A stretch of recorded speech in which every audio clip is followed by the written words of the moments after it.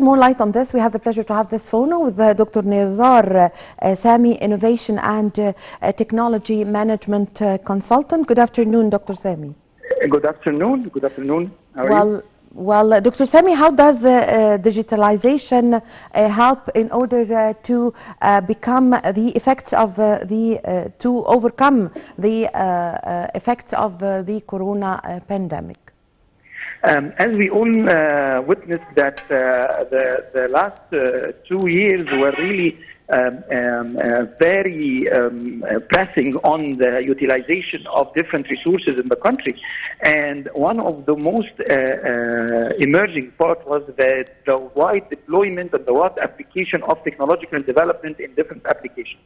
And we witnessed that without having this infrastructure, technological development infrastructure, many businesses uh, were really suffering from uh, a lot of challenges uh, for the sake, sake of continuity and, and sustainability. And in that dimension, uh, uh, the Ministry of Information and Communication Technology went through what we call the Triple P, which is the public-private partnership, where they shake hands together with different stakeholders, a multi-stakeholder engagement, in order to facilitate and to enable different services, from starting from the infrastructure level, databases, and even to the application layer, where all participants and we're all uh, like the citizens will, uh, nobody will going to be left behind in order to utilize, they, have the proper utilization of uh, technological application, and mainly in the Digital Egypt uh, project, which is a, a, a presidential uh, initiative where we can Egypt goes through uh, uh, digital and digital transformation. Yes, uh, so uh, Dr. Samy, uh, Egypt is making great uh, uh, steps uh, for um, in the digital transformation. So, what are the last steps of these, or you, could you give us an idea about the steps Egypt is taking? Yes, um, one of the major applications is the Digital Egypt, which is the platform where uh, uh, most of the uh, government services are being added right now.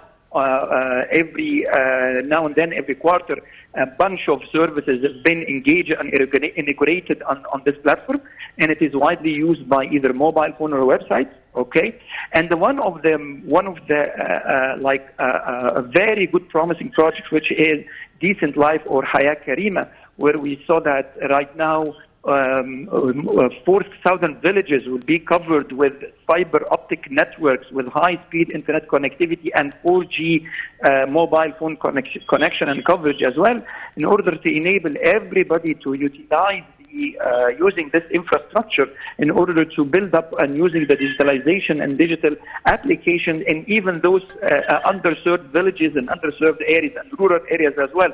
So this is one of the, the, the very good projects and it was mentioned and what was really highly uh, uh, positioned and recognized by the United Nations as one of the, uh, the uh, uh, of the um, uh, world-class uh, uh, experience um, highlighted um, in the era of uh, Haya Karima and how this uh, was a landmark not only for Egypt but all countries and uh, to learn from the experience of Egypt in moving from uh, this normal classical mode into this new, uh, new era of decent life for everybody.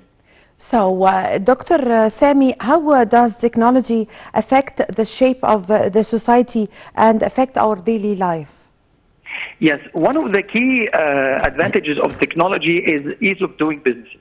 Okay, so uh, when we talk about ease of doing businesses and enable services and enable uh, businesses to everybody, of course, uh, having the era of uh, anti-corruption or facing the corruption and anti-corruption as well uh, activities is there.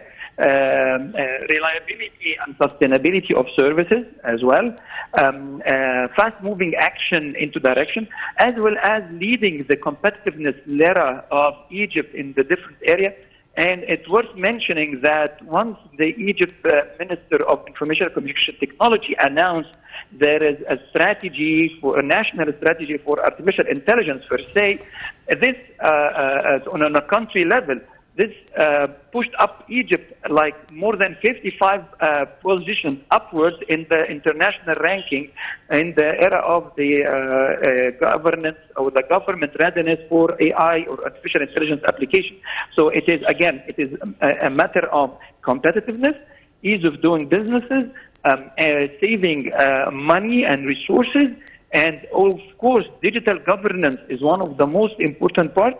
This all will co- contribute to achieve Egypt Vision 2030. Yes, uh, so uh, Dr. Samy, uh, many jobs uh, are on its way uh, to disappear due to uh, technology. Uh, could you give us, uh, uh, uh, tell us about this? What are the most uh, important jobs that are going to uh, disappear?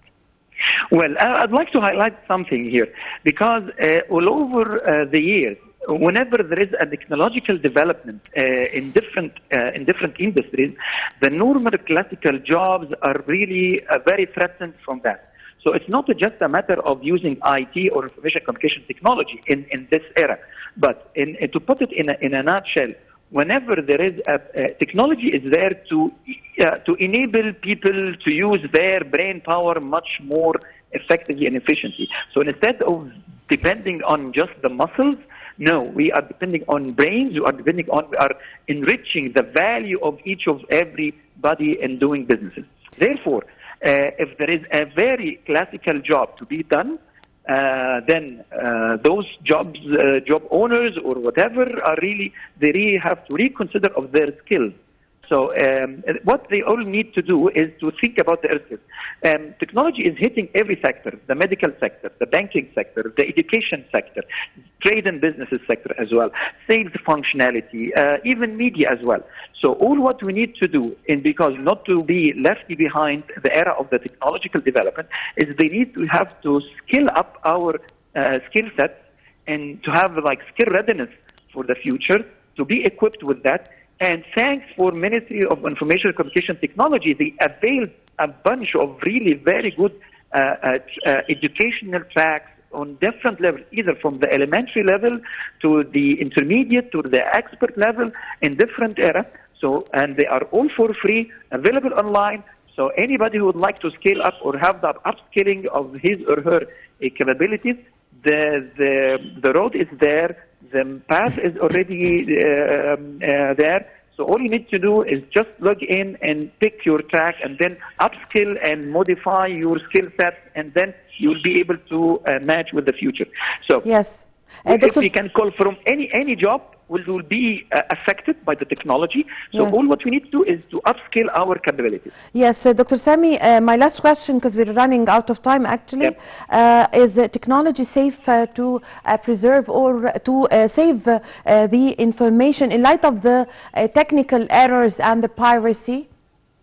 Yes, uh, this is one of the most critical pillars in the digital transformation is all about security and privacy issues. And we are even now in Egypt, we have the, uh, the Egyptian law for data Yes. privacy and security. So we are depending on that in protecting all the data and information related to that in that particular aspect. Yes, uh, I thank you very much for your time and for your valuable information. Uh, Dr. Nezar Samy, Innovation and Technology Management uh, Consultant. Uh, ladies